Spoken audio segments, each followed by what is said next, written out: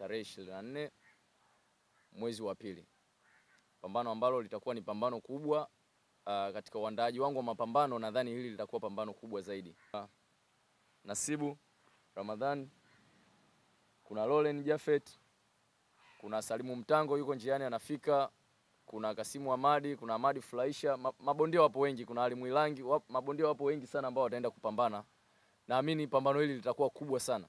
Kuna kina Jessica Mfinanga, kuna bwana Lupa Kisio, kuna Omari Sultani Upinde, kuna Saidi, kuna bondia mpya anaitwa uh, nani uh, Muhammad nani Muhammad Sare, Lakini mbali na hapo pia tutakuwa na mabondia kutoka nje, kutakuwa na buti kama tatu au nne ambazo zinatoka nje.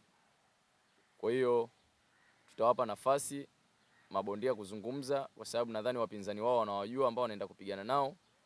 Mbali na hapo pia niko na partner yangu ambaye naandaa naye uh, this time niko naye kwenye uh, ishu nzima ya mpambano mzima ambao tunaenda kuufanya.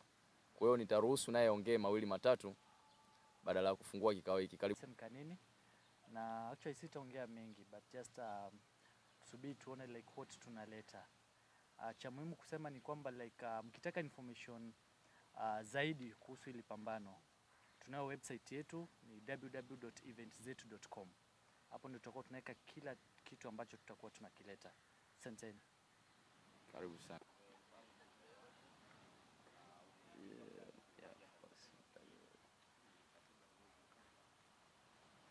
Uh, cha kwanza napenda sana kumshukuru Mwenyezi Mungu na kushukuru management yangu kwa kuandaa hii fight.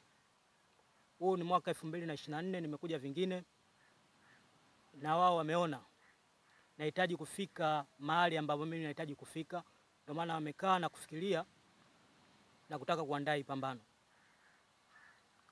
Mpinzani wangu nitakayecheza tarehe 24 mwezi wa pili ni bondia kutoka Namibia ambaye akiitwa E- Emmanuel Naidijala.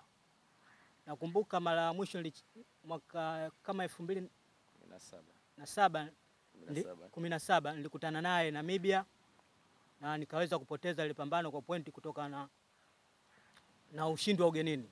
Tulicheza WBO, alishinda kwa pointi raundi kumi na mbili. Nikaona na management yangu ikaona wamlete tena huyu jamaa nyumbani nije kujiuliza tena kwa mara pili atashinda ama itakuwaje. Kwa hiyo tuna, tunaendelea kujiandaa, maana tujaanza jana, tumeanza muda mrefu kujiandaa na bado tunaendelea kujiandaa, maana pambano limebaki kama mwezi mmoja na siku kadhaa. Mpaka sasa hivi tuko vizuri na bado tunaendelea kujiandaa katika hii fight. Kwa majina naitwa Lauren Jafet. Nafikiri kila mmoja ananifahamu, kwa wale wasionifahamu majina yangu ni Lauren Jafet. Kwanza kabisa namshukuru Mwenyezi Mungu, lakini pia namshukuru uh, Brother Abduli, nashukuru uh, Brother Alten, nashukuru uh, Feroz, nashukuru masponsa wote na watu wote ambao wanaisupport hii fight ya mwezi wa pili tarehe 24. Mimi nafikiri nacheza na, na mpinzani kutoka Malawi. Sasa anaitwa Israel Kamwamba, alishakuja hapa, ni mzuri sana, alishakuja akacheza na Ibrahim Class na akapoteza, lakini ni bondia mzuri sana kwa sababu ameshacheza international fight nyingi sana, ameshacheza Namibia, ameshacheza hata Ulaya.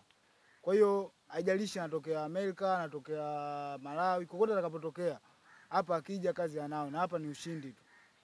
Na nafikiri kiasi kwa waandishi wa habari mnakuja kutuliza sisi tumejiandaaje hapo kwenye kujiandaa. Nafikiri sasa hivi nitaanza kutembea na glavu za waandishi wa habari, yani kwamba wenyewe mnabidi mwanze kufanya fanya mazoezi, so mnauliza mabondia wamejiandaa vipi. Yani bondia kabla hujamuuliza na mjaribu kwanza raundi mbili, raundi tatu. Waandishi wa habari nyie, nitaanza kutembea na glavu zenu. Promoter, mimi naomba hilo unisaidie. Ah. Na kingine cha, cha, cha, cha kuambia mashabiki zangu, mimi naomba tu wajiandae vizuri kunisapoti kwa sababu safari hii nimejipanga. Mimi kila siku najipanga, nasemaga kila siku, mimi sijiandai kwa sababu mazoezi mimi najiandaa kila siku. Na na mashabiki zangu wenyewe wanajua kabisa Lauren Jafet mtuchuma hapa ushindi tu. Sasa nili, nili, nilikuwa najaribu kuona kukaa chini na management yangu kuongea kuona kwamba ni jinsi gani ambavyo naweza nikapanda ulingoni na mabondia wawili wawili au watatu. Ili naliongea ili kama mara ya pili au mara ya tatu. Sasa kwa sababu nyinyi waandishi wa habari taarifa hizi mtazifikisha huko. Naombeni mzifikishe. Commission ya chini ya cha urembo Palasa. Naombeni nikate kibali niwe napanda ulingo na bondia wawili au watatu wanichangie. Naombeni jamani. naombeni taarifa zangu hizi mzifikishe, kwa sababu na kingine namshukuru sana promoter, sababu promoter nilimwambia bondia na- una- unaniletea kama sio mkali usiniletee, letee bondia ambaye ni mkali, na namshukuru sana ame- ameniletea bondia mzuri sana ambaye amecheza mapambano zaidi hata ishirini. Kwa hiyo ni bondia ambaye ana experience kubwa sana na, na imani kabisa nitajifunza vitu vingi sana vingi sana. Kwa hiyo nimejiandaa vizuri sana na nahakikishia kabisa nitaipatia Tanzania ushindi wa asilimia mia.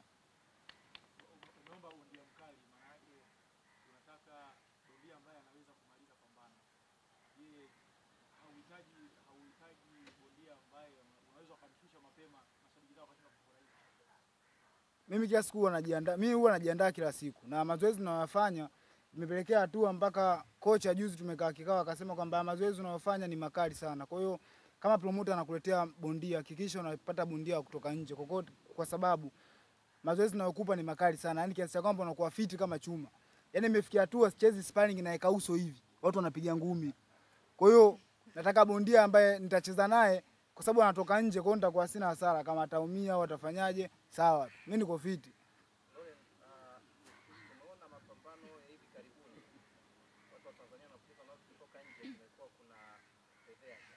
Sasa kwa sababu hapo kwenye trend ndio kwanza umenikumbusha.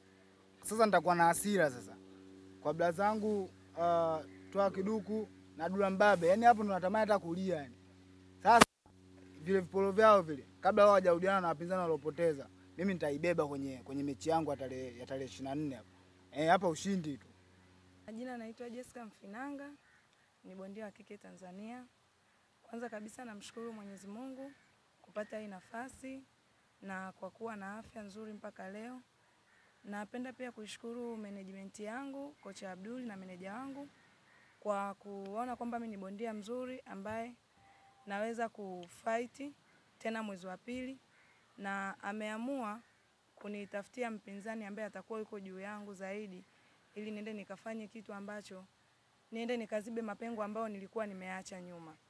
Kwa hiyo sina mengi sana ya kuongea, ila mimi nimetoka juzi kwenye fight, kwa hiyo bado nina ule ufiti, bado naendelea kujipanga na nataka nifanye kitu kikubwa zaidi, kwa sababu ni mwaka 2024 ni mwaka mwingine ambao unategemea matunda mazuri sana, na pia mashabiki zangu na watu wangu wa karibu wanaonisapoti wategemee vitu vizuri 2024 kwa sababu pia bado nina hasira na nimeamua kubadilika na nimekuja nakuja kivingine.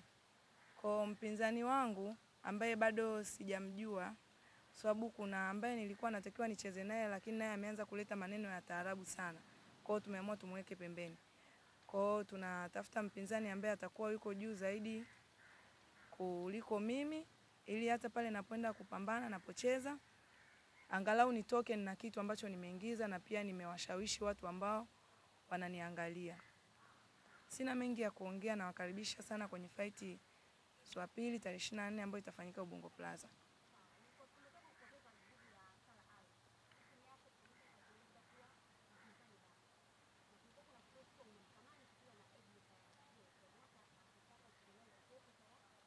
Mimi niko tayari kuanzia nilivyotoka kucheza pambano juzi la Sara Alex.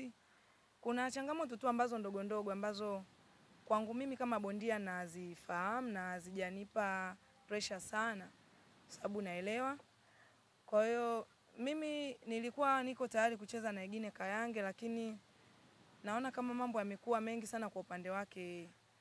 Sasa kwa hiyo tumeamua tubadilishe mpinzani, lakini kama atakubali, mimi niko tayari kwa sasa, sio wengine tu, niko tayari kwa bondia yoyote wa kilo zangu mimi.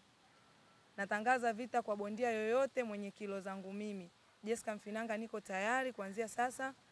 Kama mtu yuko tayari kucheza na mimi, aongee na promoter hapo, tusaini, kazi ianze, sababu pia hapa nilipo niko chini ya usimamizi mzuri na niko na braza yangu hapa Nasibu na mabondia wengine ambao wako juu zaidi kuliko mimi.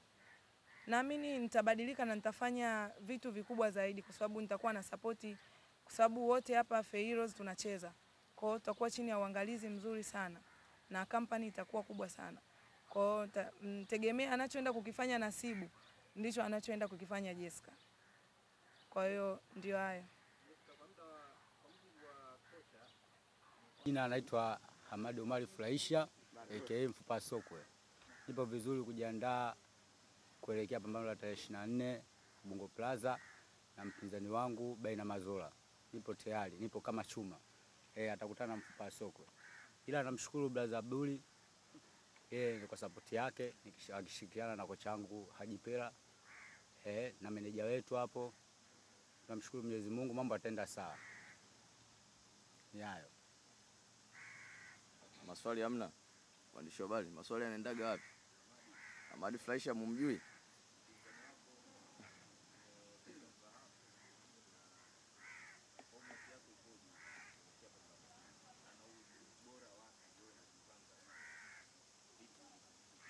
na imani kabisa kwamba Baina Mazola hawezi kumaliza raundi nane. Eh, hawezi kumaliza raundi nane, hana ubora kupita mimi. Tushakutana na watu yeye, yani mweupe kama tishu mm.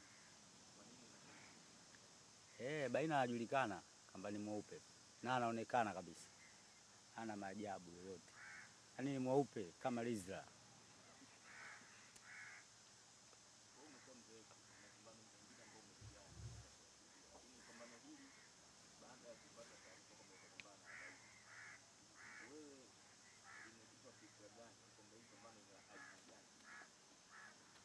kwamba mimi ni mchezo wa ngumi, ni kazi kwangu. Kwa hiyo promoter anapokuja anasema bwana, utapigana mtu fulani, huwezi kukataa kwa sababu ni kazi eh.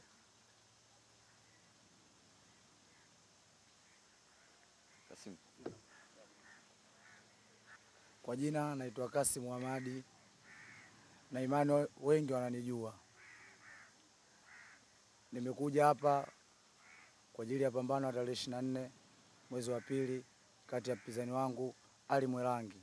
Namwambia Ali Mwelangi afanye mazoezi, afanye mazoezi. Nasikia anaongea huko bwana, mtoto Roana, mtoto mzuri. hasa mimi uzuri wangu nauonesha kwenye lingi, na mimi sio mara ya kwanza kupigana. Namkaribisha Ali Mwelangi tuje kukutana kati ya Ubungo hapo tarehe ishirini na nne mwezi wa pili. Namkaribisha aje, maana nitakuwa simpiji, atapigwa na wengi sana, atapigwa na wengi sana hivyo yani.